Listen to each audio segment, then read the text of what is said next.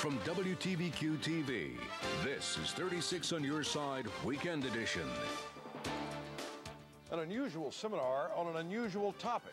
Police from across the country meeting in the Bluegrass this weekend to map strategy against a relatively new type of threat religion. Good evening. I'm John Wesley Brett. Thanks for joining us for 36 on Your Side at 6. On September 11th last year, America experienced firsthand what in other parts of the world has become all too commonplace barbarian acts, all in the name of religion. It is terrorism that we, in a mostly Protestant country, find hard to understand, but something we can no longer ignore. Jody Ambrose has our top story a strategy for coping when religion isn't righteous. Know, training is one thing, but officers there admit they still need your help too. They want to hear from you anytime that you notice what you feel may be an extremist group in the making. Three teenagers charged in the January 5th drive-by shooting death of Ryan Harris in Jessamine County told a judge yesterday they didn't do it.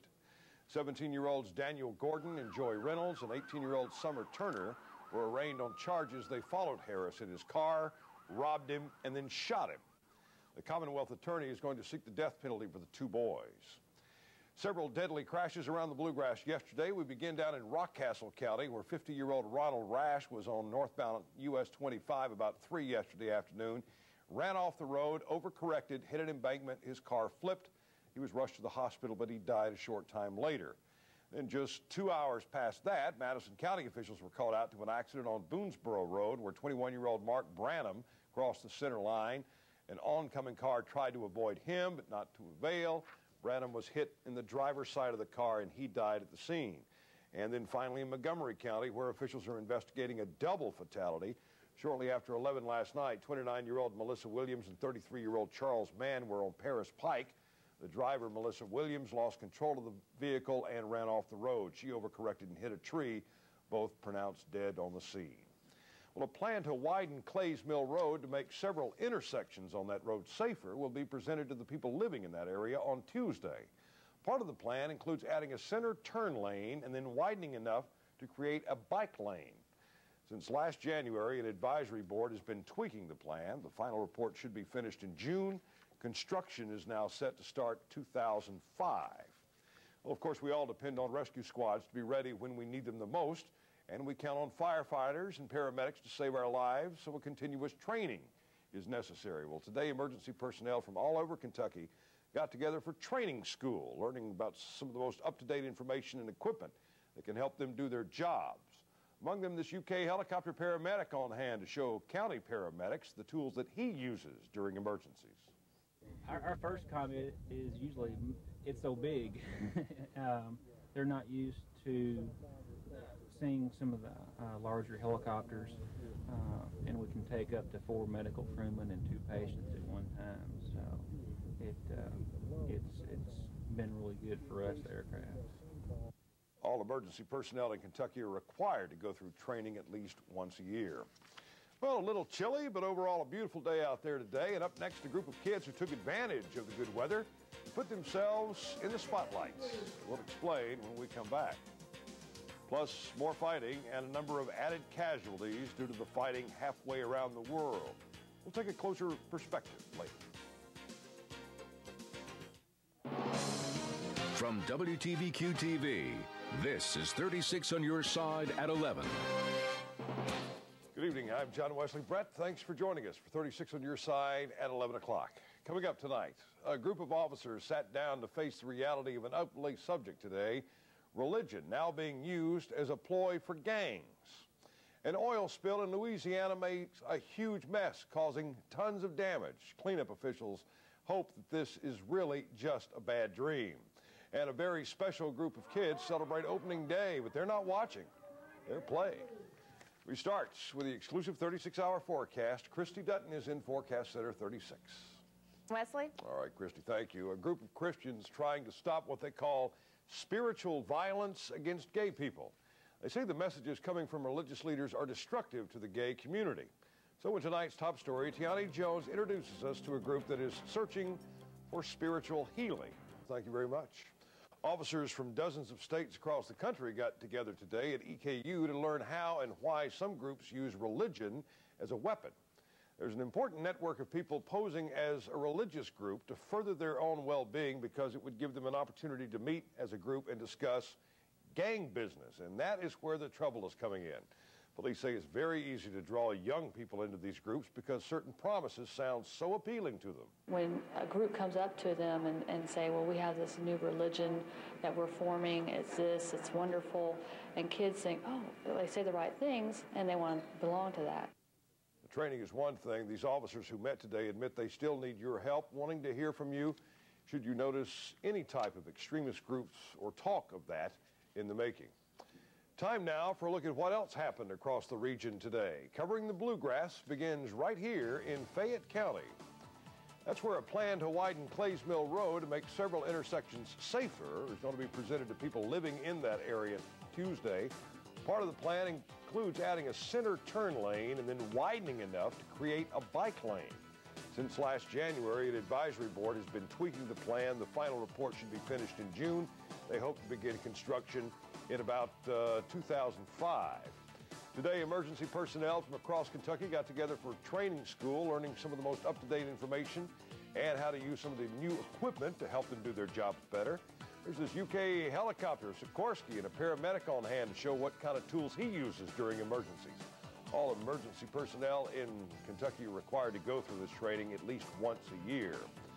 Much is made of development in central Kentucky, but little of efforts to turn some land back to green. Today, project that has been doing that for the last four years, Reforest the Bluegrass, cel celebrated the planting of its 100,000th tree. It was one of those you see of the 20,000 trees planted today by some 500 volunteers at the new Wellington Park site. Trees do more than just grow, they improve water quality and protect erosion. And that wraps up our look tonight around the bluegrass. The weekend's always a nice time to take your kids out and spend some quality time doing what they do best, play.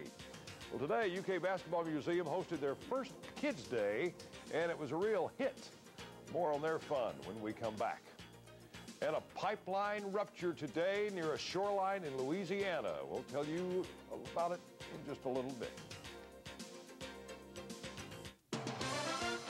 From WTVQ TV, this is 36 on your side, Weekend Edition. Parishioners are coming together after a well-known priest leaves Lexington's largest Catholic church. Good evening. Thanks for joining us. I'm John Wesley Brett. Father Greg Schuler has left the Cathedral of Christ, the King Church, after leading the people there for nearly a decade.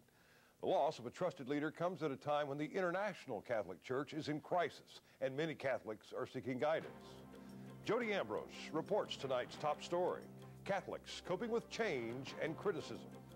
The bishop of the diocese here in Lexington wanted us to emphasize that Father Schuler's departure has nothing, he says, to do with the, any sex abuse, which is forcing many priests out of the pulpit. Schuler is now spending time with family in Fort Thomas, Kentucky. Lancaster police have arrested five people last night in a meth lab bust. That is in Garrard County, and working off a tip, police raided a Lancaster apartment around 8.30, quickly finding evidence of a meth lab. And because of the volatility of meth production, they evacuated some surrounding apartments. Those arrested are Danny Price, Philip Wilcher, Joseph Douglas, Kim Joseph, Travis Jacobs. All are being held in the Lincoln County Jail. Well, it has now been a year since the Cincinnati police shooting death of 19-year-old Timothy Thomas. Thomas was the unarmed black kid shot by a white cop as he was trying to run.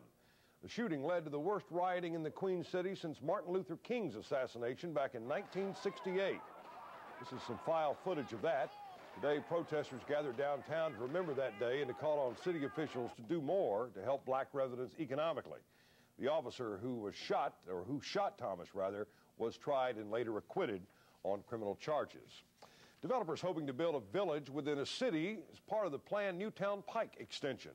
Plans for a $28 million new four-lane boulevard stretching from West Main to Patterson Street will be unveiled on Tuesday. Planners are also hope to see some existing homes renovated and new affordable housing built. And not to mention just a better road, we'll get better traffic flow, they say, as well as trails and some walkways. The dream possibly should become reality in about five years. Meanwhile, Clays Mill Road will also be expanded, primarily to correct a few dangerous intersections. They're going to add a center turn lane and a, creating a bike lane. Those plans will also be unveiled on Tuesday. 20 years of helping folks and still going strong. The Hospital Hospitality House of Lexington held a celebration today, marking a special occasion. The house on South Limestone in Lexington opened its doors to families who have loved ones in the hospital. The group says all the credit, though, goes to the individuals and groups who give their time and donate resources each and every day. The Hospitality House is, has been a home away from home for people who've been uh, from out of town, visiting hospitals, uh, and not had a place to, to stay or for a meal. Of course, the house depends on your financial contributions to keep going, they're always welcoming donations. You can call them. Here's the number 859 254 8998. Well, when you hear a brass band, you just can't help tap your foot. A Lexington band that has been entertaining these parts for about 10 years through a gala concert to mark their anniversary today. And Lexington's weirdest and most wonderful annual party rocked the town last night, the Beaux-Arts Ball. We'll show you a few of the outfits the people wore when we come back. Joining us now, Keith Spaulding. The Bluegrass features a couple of uh, special thoroughbreds. Yeah, Harlan's Holiday and Booklet have hooked up three other times coming into today's race. Booklet has won two, John, and uh, 78th running of the Bluegrass Stakes a little later. And plus, there are two other big races today, the Wood Memorial right. and the Arkansas Derby. So it's a big day for Kentucky Derby preps. And we'll fill you in a little bit later. All right. Thanks a lot, Keith. Well, we uh, turn to a sad note now. Former Kentucky Supreme Court Chief Justice uh, has died. Robert Stevens, who is the current Justice Cabinet Secretary, died today in Lexington after a long battle with cancer. Before his appointment to the Justice Cabinet in 1998, Stevens served as Chief Justice at the state Supreme Court for 16 years. That is longer than anyone else in state's history. Funeral arrangements are being made at Millward Funeral Home. People who live along Herrington Lake are tired of trash. It has been piling up there for years, and now the neighbors are finally taking some action. Jody Ambrose shows us how folks are working to turn a weekend cleanup effort into a new way of life along the lake. Herrington Lake is a private lake with about 1,700 property owners living nearby. Only a few hundred people belong to the Conservation League, but the group is working on gaining new members. If you want to find out more about joining, log on to WTVQ.com. We've got a link there in our featured links section. Well, folks near Herrington Lake were the only ones doing a little serious cleaning up today. More than 100 people worked cleaning up old tires out of the Raven Run Sanctuary. The area used to be an old landfill. All the tires they collected today and found, they're going to recycle. Raven Run uh, back in the late 60s was a landfill, and at that time the regulations were very lax, and you could put whole tires in the landfill. And we found that tires tend to pop up through the ground, and we're taking care of that problem. Cleared out more than a thousand tires this afternoon. They already have another cleanup plan. This time they're going to go to the Kentucky River. That one is set for June 15th. People in Versailles are under a boil uh, water advisory until Monday. This goes for everyone in Woodford County. The Public Works uh, Department there says you will have to boil your water before drinking and cooking, but you can use the water straight out of the tap for any bathing or showering. Again, this must you must do until Monday. They think that the six-foot split in the pipeline may have caused, been caused by an age of that line. It's about 20 years old. A lot of folks out there were without water for a short time this morning. The rupture was fixed a little after 9 this morning. Lawmakers met all day yesterday to try to hammer out their differences on the budget, but did they finally come to an agreement? Will Kentucky have a spending plan by Monday? We'll tell you.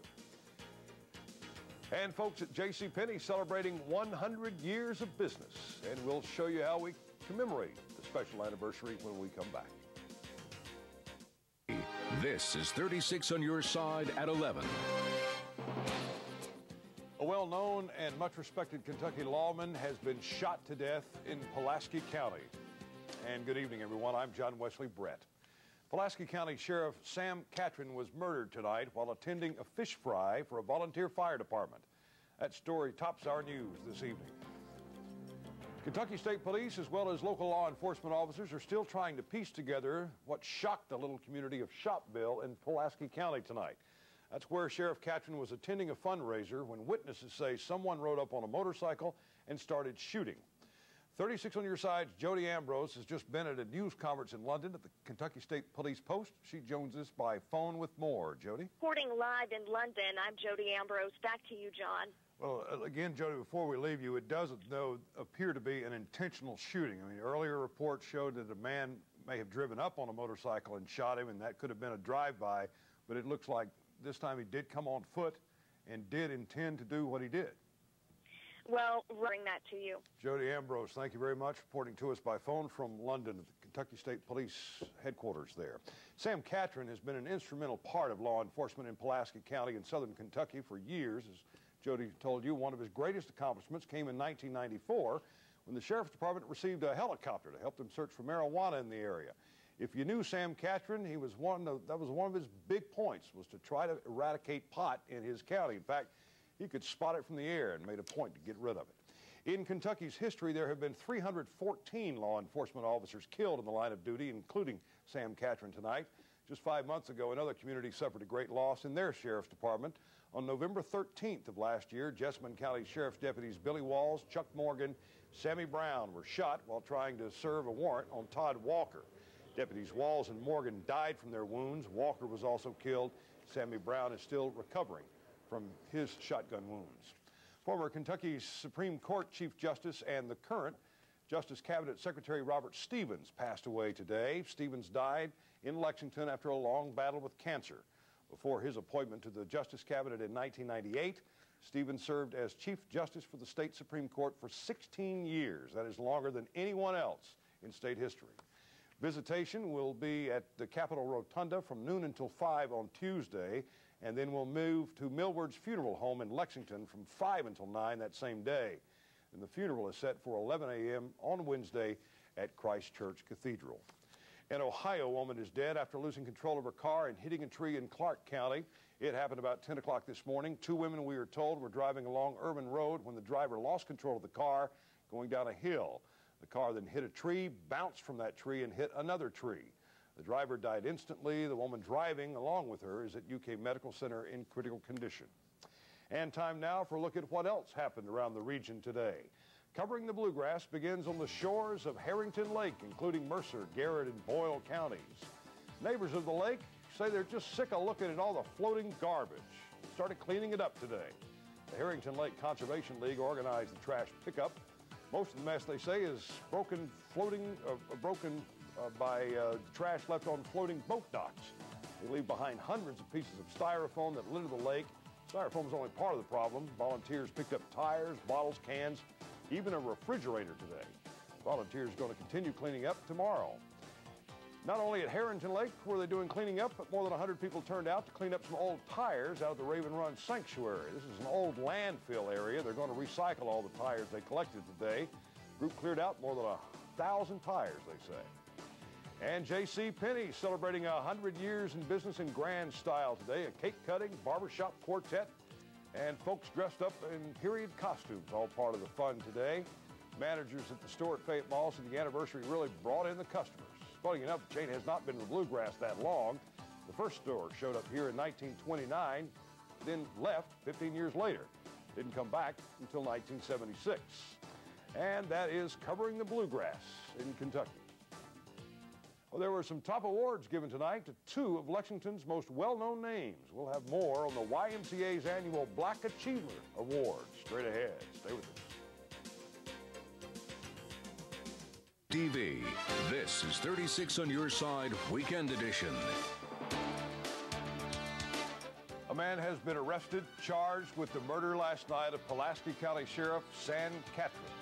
The sheriff was gunned down after helping auction cakes baked by his mom at an annual volunteer fire department fish fry. Good evening, I'm John Wesley Brett. Kentucky State Police have so far arrested only one man for Catron's murder and are hinting, though, at something more sinister that last night's cold-blooded killing may be linked to a man running against Katrin for Pulaski County Sheriff. Jody Ambrose has our top story tonight. A murder, a man accused, and a community shaken to its foundation. All right, Jody Ambrose in our newsroom. Thank you very much for that. News of Catron's murder last night, of course, was telegraphed to law enforcement agencies all across the country. And throughout the night at the Pulaski County Sheriff's Department outside, sheriffs and officers from all over Kentucky stopped by to pay condolences. Among them, Jessamine County Sheriff Joe Walker, who you see there, lost two deputies of his own in a shootout earlier this year. Even those who Catron had arrested even had praise for him last night. He treated me like I was somebody. I mean, if he if he picked me up for DUI or, or well, never for DUI, but public drunk, he treated me like I was somebody and not a criminal. Yeah, yeah. I mean, he, he treated me with respect. Catron was sworn in as sheriff in January of 1987. He was seeking his fifth term in this year's election. Congressman Hal Rogers is remembering Sam Catron as a great public servant lost to cowardly assassin. He points out that this is the second such loss for Catron's mother, Jenny Rachel Catron. Her husband was killed in 1964 while police chief of Somerset, and now one of her sons has been killed while serving as Pulaski County Sheriff. In addition to his mother, Sam Catron is survived by his two brother, or his brother rather, and two sisters. Hal Rogers is urging everyone to keep the Catron family in their prayers. The scars of senseless attacks on lawmen are fresh in the bluegrass. You'll recall just five months ago, all hell broke loose down by the river in Jessamine County. Rather than submit to misdemeanor charges, Todd Walker pulled out a rifle and opened fire on three deputies who came to his landlocked houseboat. Only Deputy Sammy Brown survived the hail of gunfire. Deputy Billy Walls was killed at the scene, and Deputy Chuck Morgan later died from his injuries. Again, as for Sam Catron, funeral services are still incomplete. We expect that Lake Cumberland Funeral Home will handle the arrangements and do expect information to be made public after the family has signed off on everything. We'll pass along the word as soon as we get it. Caught between a rock and a hard place, the U.S. is trying to make sure the endless conflict between Israelis and Palestinians does not mess up our own war on terror. Secretary of State Colin Powell shuttled between unyielding leaders today in search of compromise. We'll look at how productive it was when we return.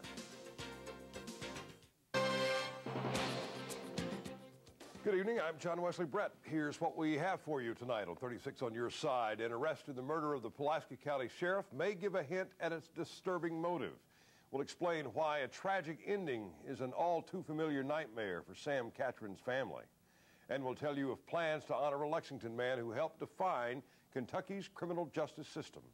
But we start with the exclusive 36 hour forecast. Christy Dutton is in Forecast Center 36. All right, Christy, thank you very much. Folks in Pulaski County are grieving over the sudden loss of longtime Sheriff Sam Catron, murdered in public while he was doing nothing but drumming up votes for his reelection campaign. State police have arrested a man for Catron's murder, and they have released news of a possible connection to another candidate. In tonight's top story, Jody Ambrose runs down the investigation and the community's response. We tried to contact Jeff Morris today, but he did not return our phone calls. At today's news conference again, state police made a point of saying that Morris is not a suspect at this point. Danny Shelley will appear before a judge tomorrow morning on a capital murder charge of killing a law enforcement officer. That could get him the death penalty. For the Catron family, this is a recurring nightmare. Sam Catron's mother saw her husband gunned down in 1964 when he was Somerset's police chief. Now she has lost one of her sons while he served as sheriff. Sam Catron was known for routinely wearing a bulletproof vest because of what happened to his dad. His killer used a rifle to shoot him in the head. Catron is survived by his mother, brother, and two sisters. Funeral arrangements have yet to be announced. Memorial services are set this week for a Lexington man who was a pillar of the criminal justice system in Kentucky. Although he was in the middle of a long battle with cancer at the time, Robert Stevens lived to attend this year's dedication of Lexington's new courthouses in his honor. Stevens worked his way up to Chief Justice of the Kentucky Supreme Court, a post he held for 16 years before Governor Paul Patton asked him to head the Justice Cabinet. Visitation will be at the Capitol Rotunda this Tuesday from noon until 5, and then at Millward Funeral Home in Lexington that same evening, 5 to 9. The funeral will be the following morning, Wednesday at 11 a.m. at Christ Church Cathedral. Time now for a look at what else happened across the region today. Covering the bluegrass begins in Clark County, where today we had a head-on collision on Highway 60 requiring a life flight, though there is no word yet on the condition of the accident victims. Witness tells us it appears both cars were holding close to the yellow line as they rounded a curve and then ended up hitting each other. The accident backlogged traffic for hours. Folks in Martin County have to wonder if last week's water emergency could have been prevented. It was due to the failure of a water pump, which was fixed by Friday, but that pump failure came just a week after state regulators warn there is trouble ahead unless that water company gets better equipment and staffing. And a weekend of cleaning up Herrington Lake was just what the place needed. Volunteers organized by the Conservation League fished out tires, bottles, cans, even a refrigerator. They say one of the most annoying things is floating boat docks losing chunks of styrofoam, which end up everywhere. People wanting to put their best face on their own property at the annual Home and Garden Show in Lexington today. Heritage Hall and Rupp Arena hosted the event. Hundreds of exhibitors, hundreds of people looking for thousands of ideas. Special auctions were held to benefit UK Children's Hospital. And thousands of Girl Scouts, my own daughter included, hit downtown Lexington today to celebrate the organization's 90th birthday. Events at the Children's Museum were followed up by a giant sing-along. Girl Scout Council, which serves Lexington, reaches more than 50 other counties and serves a total 25,000 girls.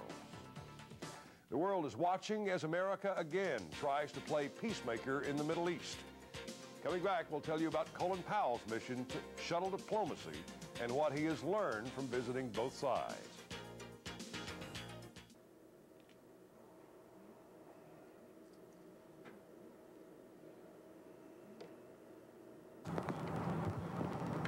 Story begins in the rural Tennessee woods just over the Kentucky border, where it's rare you find a body. Rarer still that police have now found two in two years within two miles of each other. And figure the odds that both were women, both nude, both stabbed, both unidentified. The latest is a Native American with tattoos, Mom 77 on the right shoulder, a peacock on the left, Delilah on her leg, and Ricky on her hand. Last week, experts put a clay face to the skull of the first woman found near Jellico, an African American lady who bears an uncanny resemblance to another unidentified woman found during the same time, but a hundred miles north in Lexington. We have all of her clothing, we have all of her teeth, we have her hair. But few other clues as to who she is or why she was found dumped two years ago in a wooded area just off I 75. Or is there?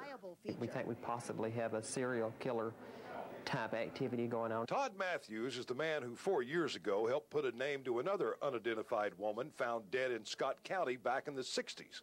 We called her the Tent Girl. He now believes the body in Lexington and those found in Tennessee may be connected. The fact that that body was found near I-75 as well is a possible tie-in. At least is something that needs to be considered. Matthews now runs the Doe Network, which catalogs the hundreds of John and Jane Does across America, a database now showing a startling new picture that in the last couple of decades there have not been just three, but 12 bodies of unidentified women found dead along I-75. He thinks it's time police take a more regional approach in their investigation, as the bodies found in Jellico may well have been from Kentucky. It was found just inside of Tennessee's border, and it's more associated with Tennessee in the south rather than possibly the northern area where she probably could have been from.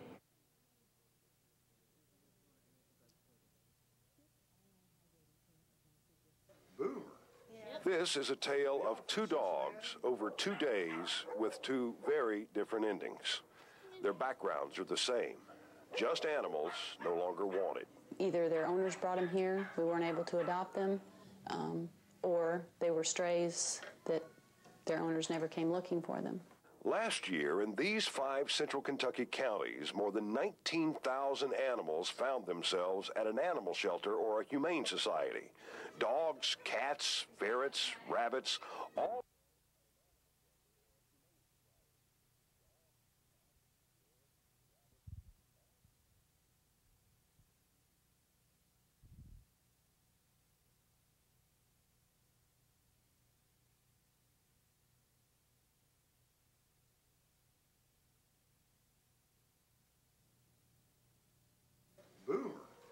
This is a tale of two dogs over two days with two very different endings. Their backgrounds are the same, just animals no longer wanted. Either their owners brought them here, we weren't able to adopt them, um, or they were strays that their owners never came looking for them. Last year, in these five central Kentucky counties, more than 19,000 animals found themselves at an animal shelter or a humane society. Dogs, cats, ferrets, rabbits, all here for one reason or another. Some reasons being better than others. They're moving. Can't take the animal. Uh, new babies. That's a big one. Um, allergies. Um, grew too big. 16 years ago, Kathy Atkins went to a shelter to adopt a dog and was so overwhelmed by the helplessness of the animals here, she's never left.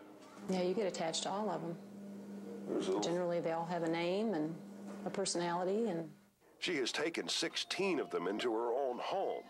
And the local Humane Society helps with others, finding foster homes and raising money to pay for spay and neuter programs. They do work for a while. For probably three or four months, every puppy that came in came into foster care, and every kitten that came in came into foster care. Then you hit the second cycle, you know, the middle of the summer, and they start coming in heat and, and getting pregnant again. And that's when we started feeling like we couldn't keep up again. The problem is there's just too many of them, too few adopting parents, and only two options adoption and euthanasia. Each weekday, 76 new animals appear at one of the shelters in these counties. 24 of them will be adopted. 10 more will be returned home. But 42 will have to be put down just to make room for tomorrow's 76. That's one euthanasia every half hour of every day. And for this lab, the time has come. His owner's gone more than a month now and never have returned. It makes them feel better, releases their guilt from leaving the animal here, and then they can put the blame on us. Again, they bring them here and then they don't have to deal with it. They don't have to, you know, actually hold their animal. Kathy is left to do that, comforting and loving till the end.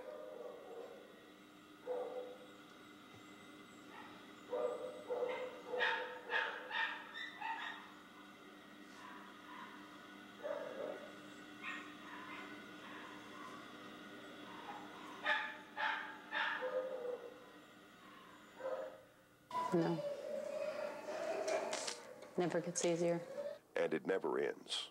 On this day, the lab was the last of seven dogs put down just to make room for others who will be abandoned and now fill these empty cages in the coming week. You don't think you're going to be able to keep going, but then, but then something happens that keeps you going. Honey, I told you what. Today, a family in Lexington grew by one. So we got on the internet, and I fell in love with him. Boomer, one of a litter left at the door, now has a new home. And so does this fellow, another black lab. In just two days, in this one shelter, seven put down, two adopted, and one more abandoned. After 11 years with the family, Lady's owners are now having a baby. So today, Lady and her toys had to go. As long as we have room, availability of space, and as long as they stay healthy, then we keep them. Thousands in our area Let's hoping each day spoiled. they'll Come live to to see another. You either get into this pro- profession and you stay a really, really long time, or you last a few weeks or a few months. I'm a lifer.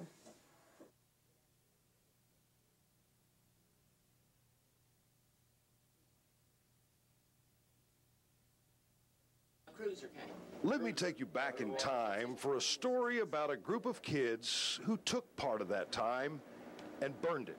Now, really, to, to know how old this rocking chair is, I can hardly, you know, give you how many years old it is. For at least a hundred years, that rocker rocked on the front porch of Penn's store, the oldest country store still open in America. That is until some Fayette County students decided to use the rocker and other antiques for a bonfire graduation night. So I, I looked around and I couldn't find it anywhere. Went to go, uh, to the woodshed to, to get something, and it's like, oh, voila! nothing. It's all gone. The students had come to Penns May 25th to celebrate their passage into adulthood at the swimming hole next door.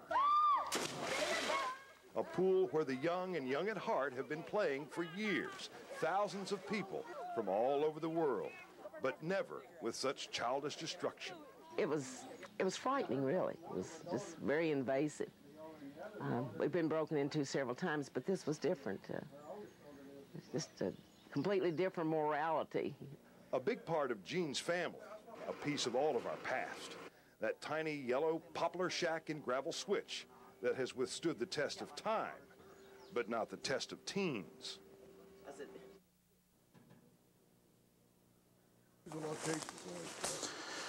Well, the key with these is they've got to be at least two miles apart. Meet Stephen Bonney, wildlife biologist, census taker. You know, we've got lots of young males, females we hardly ever hear about, hardly ever see. Deep in the woods on the Menifee-Morgan County line, Stephen is stopping by one of the more than 200 new census locations in southeastern Kentucky. He's hoping one of the most elusive sec-